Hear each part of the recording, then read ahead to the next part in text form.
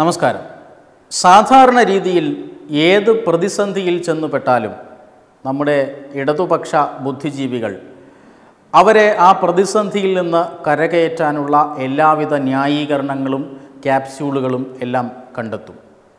പെരുന്നുണയായാൽ പോലും അതിനെ അത്യന്തം ആധികാരികതയുള്ള വസ്തുതകൾ എന്ന പോലെ അവതരിപ്പിച്ചുകൊണ്ട് മറുവാദം ഉന്നയിക്കാനും അവിടെ ന്യായീകരണം നടത്താനും കമ്മ്യൂണിസ്റ്റ് ബുദ്ധിജീവികൾക്ക് ഒരു വലിയ കഴിവാണുള്ളത്. പക്ഷേ ഈ അടുത്ത കാലത്തായി രണ്ട് സന്ദർഭങ്ങളിൽ ഇസ്ലാമിക ജിഹാദി കൂട്ടുകെട്ടിനും ഇടത് ജിഹാദി കൂട്ടുകെട്ടിന് മറുപടി പറയാൻ ഒരു വാക്കില്ലാതെ അല്ലെങ്കിൽ മറുപടി പറയാൻ വാക്കുകളില്ലാതെ തിരിച്ച് ഒരാശയ സംവാദം നടത്താൻ കഴിവില്ലാതെ അവർ പതിയെ ഒഴിഞ്ഞു പോകുന്നത് കാണുകയാണ്. ഒന്നാമത് കാശ്മീർ ഫയൽസ് എന്ന ചിത്രമാണ്. കാശ്മീർ ഫയൽസ് എന്ന ചിത്രത്തിൻ ആ ചിത്രത്തിൽ പ്രമേയമാക്കിയിട്ടുള്ള വസ്തുതകളെ ചരിത്രത്തെ ഖണ്ഡിക്കാൻ എത്ര നോക്കിയിട്ടും ഇതുവരെ ഇടതുപക്ഷത്തിനോ ജിഹാദികൾക്കോ സാധിച്ചിട്ടില്ല. പണ്ടൊക്കെ ഫാസിസമാണ് ന്യൂനപക്ഷത്തിനെതിരെയുള്ള കടന്നുകയറ്റമാണ് എന്നൊക്കെ പറഞ്ഞു നോക്കുമെങ്കിലും ഇത്തവണ അതിനുപോലും മുതിർന്നില്ല. കാരണം വിവേക് അഗ്നിഹോത്രി അതിലെ ഓരോ വരിയും എഴുതിയിരിക്കുന്നത് വർഷങ്ങളുടെ ഗവേഷണത്തിന്റെ ഫലം കൊണ്ടാണ്. അല്ലെങ്കിൽ വർഷങ്ങൾ ഗവേഷണം ചെയ്തെടുത്ത വസ്തുതയെന്ന് അദ്ദേഹത്തിന് ബോധ്യപ്പെട്ട കാര്യങ്ങൾ മാത്രമാണ്. ഈ ഭൂലോകത്ത് ഒരാൾക്കും അത് ചോദ്യം ചെയ്യാൻ കഴിയാത്ത രീതിയിലാണ് കശ്മീർ ഫയൽസിന്റെ തിരക്കഥ അദ്ദേഹം രചിക്കപ്പെട്ടിട്ടുള്ളത്. അതുകൊണ്ട് തന്നെ ആ സിനിമയ്ക്കെതിരെ ആ സിനിമ ഉന്നയിക്കുന്ന രാഷ്ട്രീയത്തിനെതിരെ ആ സിനിമ ഉന്നയിക്കുന്ന പ്രമേയത്തിനെതിരെ ഒരക്ഷരം മിണ്ടാൻ ഇതുവരെ ഇടതുപക്ഷങ്ങൾക്കോ ജിഹാദികൾക്കോ സാധിച്ചിട്ടില്ല. കഴിഞ്ഞ ദിവസം ഒരു മാധ്യമപ്രവർത്തക വിവേക് അഗ്നിഹോത്രിയെ പൂട്ടാൻ നോക്കിയെങ്കിലും അത് അദ്ദേഹം തന്നെ പൊളിച്ചു കളഞ്ഞു. കഴിഞ്ഞ ഇന്നലെ ട്വിറ്ററിൽ വിവേക് അഗ്നിഹോത്രിയുടെ ട്വീറ്റുകളാണ് ഏറെ പ്രചാരം നേടിയത്. അങ്ങനെ ഈ മാധ്യമപ്രവർത്തകയുടെ കള്ളത്തരം ഇന്നലെ വെളിച്ചത്താവുകയായിരുന്നു. രണ്ടാമത്തെ സംഭവം അനന്തപുരിയിൽ നടക്കുന്ന ഹിന്ദു മഹാസമ്മേളനം. ആ സമ്മേളനത്തിൽ ഉന്നയിക്കുന്ന അല്ലെങ്കിൽ ആ സമ്മേളനത്തിൽ ചർച്ച ചെയ്യപ്പെടുന്ന കാര്യങ്ങൾ. ഇസ്ലാമിനെക്കുറിച്ചും ഇസ്ലാം ഇതുവരെ ഉയർത്തി വച്ചിരുന്ന ഇടതുപക്ഷവും ഇസ്ലാമും ഇതുവരെ ഈ ലോകത്തെ തെറ്റിദ്ധരിപ്പിച്ചുകൊണ്ടിരിക്കുന്ന ചരിത്രം ആ ചരിത്രത്തിന്റെ അസത്യവശങ്ങളെ മുഴുവൻ പൊളിച്ചടുക്കിക്കൊണ്ട് സിദ്ധാന്തങ്ങൾ ഹിന്ദു യൂത്ത് കോൺക്ലേവിൽ ചർച്ചയായി. ഇടതുപക്ഷ ചരിത്രകാരന്മാർ കെട്ടിപ്പൊക്കിയ ഈ പെരും നുണകളുടെ സൗധം മുഴുവൻ കഴിഞ്ഞ രണ്ട് മൂന്ന് ദിവസമായി അനന്തപുരിയിൽ നടക്കുന്ന ഹിന്ദു സമ്മേളനത്തിൽ പൊളിഞ്ഞു വീഴുകയാണ്.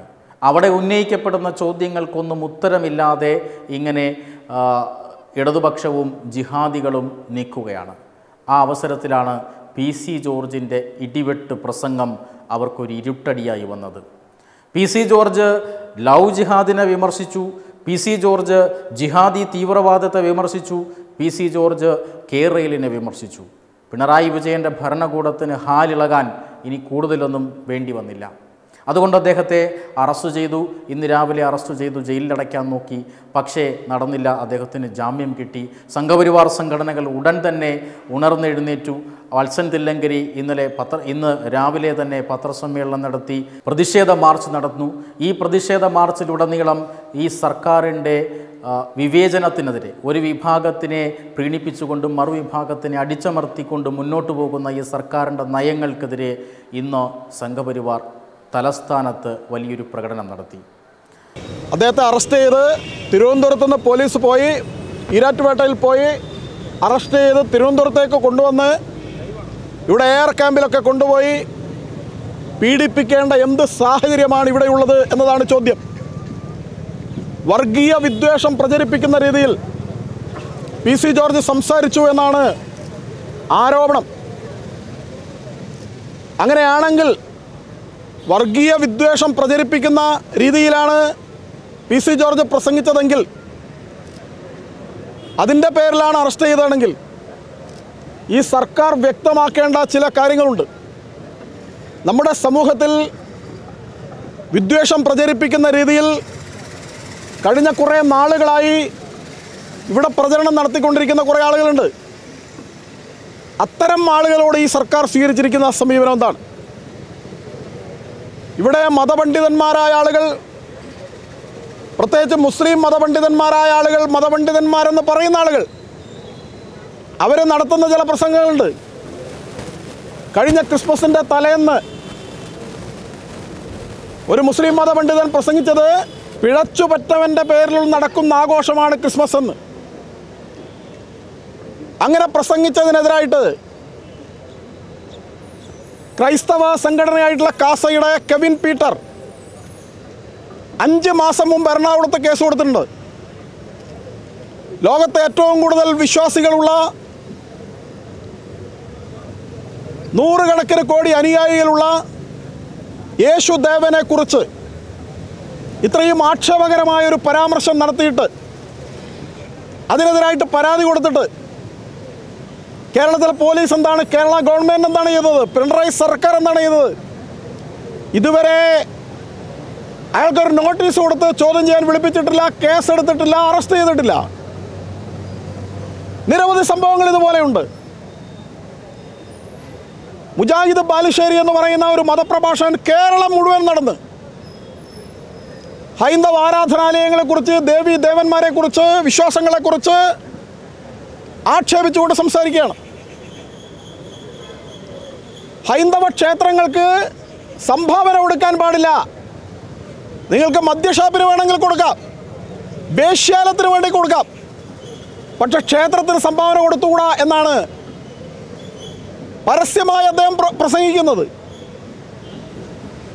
ഹൈന്ദവ വിഭാഗങ്ങളുടെ ആരാധനാലയത്തിന് നേരെ ഇത്രയും അധമമായ ഒരു പ്രസ്താവന നടത്തിയിട്ട് എന്ത് നടപടിയാണ് കേരള പോലീസ് എടുത്തത്? കേരള സർക്കാർ എടുത്തത്?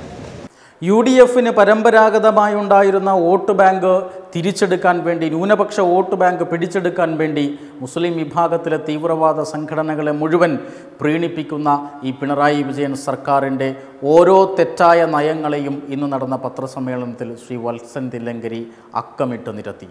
തുടർന്ന് നടന്ന പ്രതിഷേധ പ്രകടനത്തിലുടനീളം ഈ സർക്കാരിനെതിരെയുള്ള രോഷം പ്രകടമായി. എന്തായാലും പി സി ജോർജ് ജാമ്യം ലഭിച്ച് മജിസ്ട്രേറ്റിന്റെ വീട്ടിൽ നിന്നും പുറത്തേക്ക് ഇറങ്ങുമ്പോൾ അദ്ദേഹം പറയുന്ന ഒരു കാര്യമുണ്ട്. ഈ സംസ്ഥാനത്ത് പെട്രോളിനും ഡീസലിനുമെല്ലാം വലിയ വിലയാണ്.